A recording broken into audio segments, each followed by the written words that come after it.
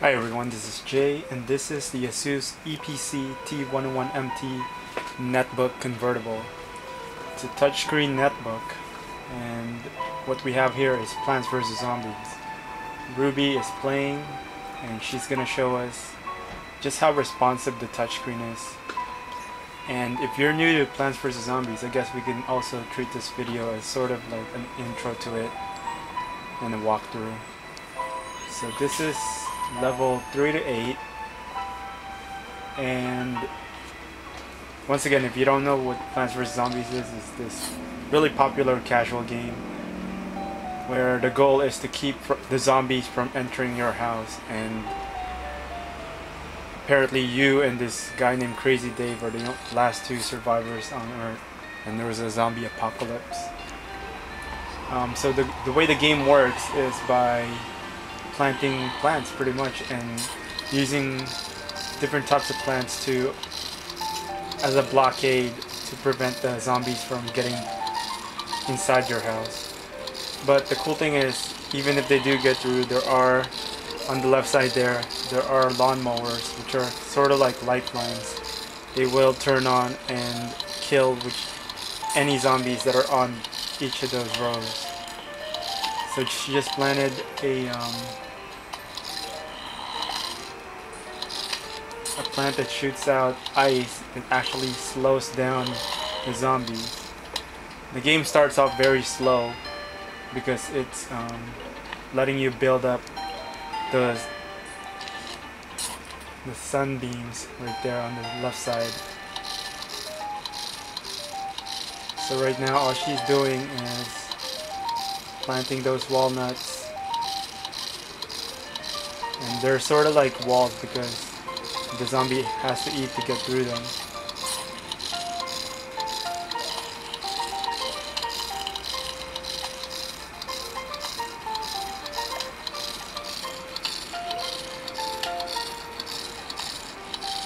And some zombies are actually harder to kill than others. Some will have buckets on their head that are sort of like makeshift armor for them and it's very important to keep an eye on each row because sometimes a zombie might not die even even if you have like um, a pea shooter on him for quite a while. So there's one right there. He has a traffic cone on his head. It'll actually take a lot longer to kill that one but since we're using a pea shooter that shoots ice it's gonna slow that while damaging it.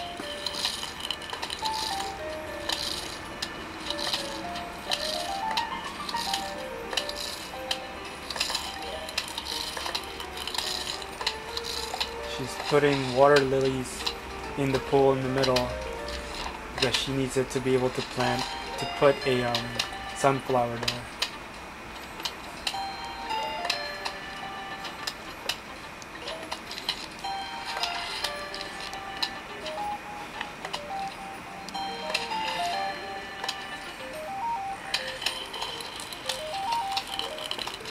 The game does get harder and harder. More zombies will keep coming.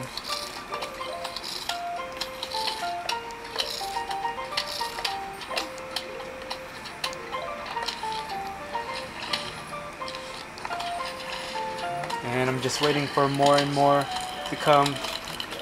And you'll see the screen will get filled with zombies and all sorts of plants trying to repel them back.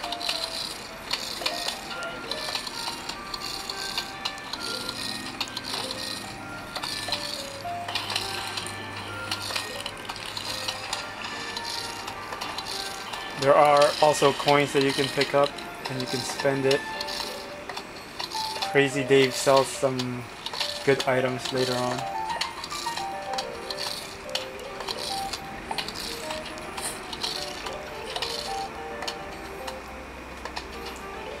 Everyone has different strategies when playing this game, but it's there's a general strategy of, you know, if it's daytime, you plant the sunflowers first and a row of um, attackers, which are the blue pea shooters right there, and also barricades, which are the walnuts.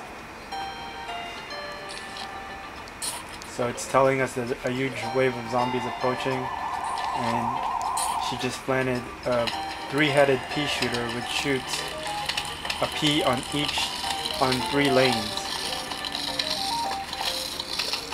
And you can see in the middle there, there's a zombie on a um, floating duck.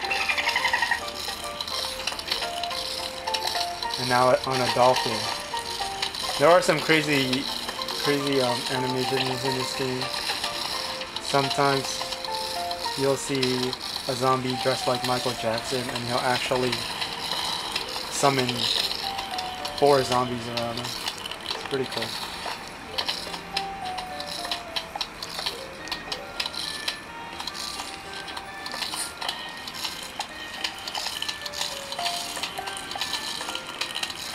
As you can see, she planted the three-headed pea shooters at those exact spots because you want to be able to cover all six lanes. And she's doing just that. The tangle kelp drowns the zombies.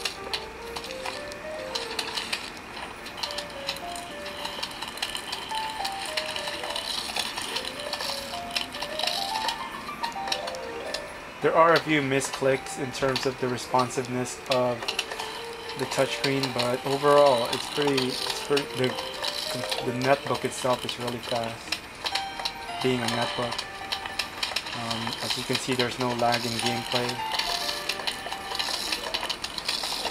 It Has a nice resolution to it, good colors.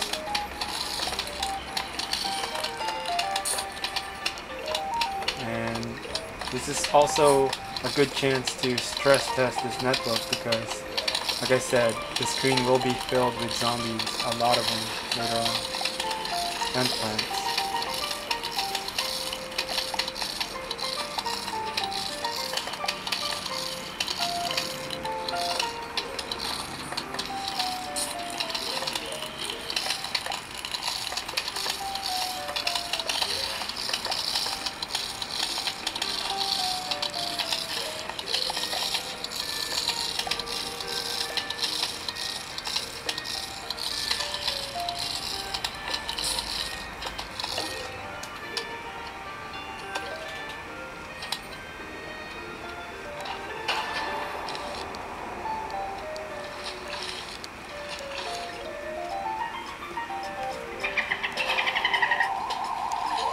Oh, it's the final wave, so we might not see this whole screen get filled up by zombies after all, but this is the last huge wave.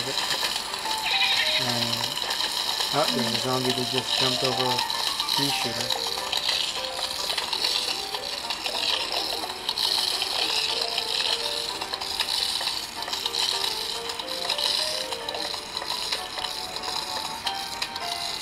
You can see, she's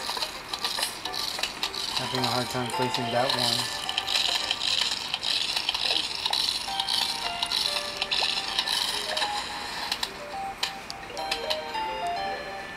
And that's actually it. She beat the game. Or that level at least. Thanks for watching. And please subscribe.